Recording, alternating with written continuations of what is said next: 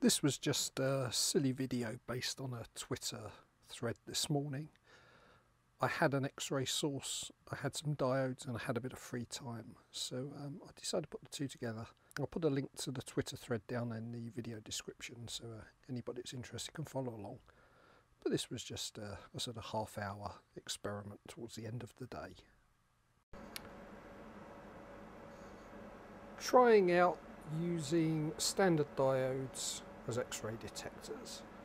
Our current detection is with a large area, uh, large surface area photodiode, and it just goes into this box, which is a, a, a quick and dirty transimpedance amplifier. We don't actually care so much in our application about absolute values, it's just relative changes. So if I switch, if I open the shutter on the X-ray source, we see a signal.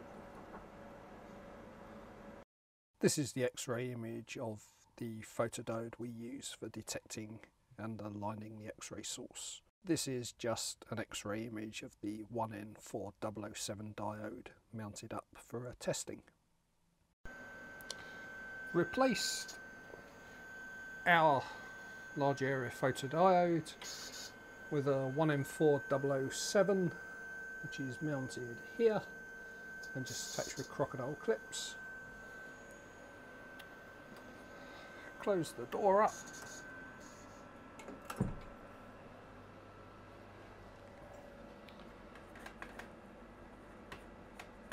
Turn on x-rays.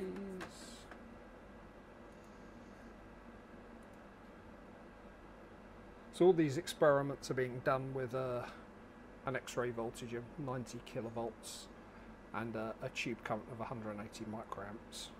So about 16 watts or so on the target. So again, I'll snap an image and we get an image of the diode.